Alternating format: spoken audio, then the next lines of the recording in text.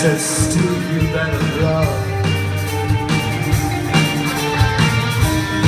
She was the apple of my eye.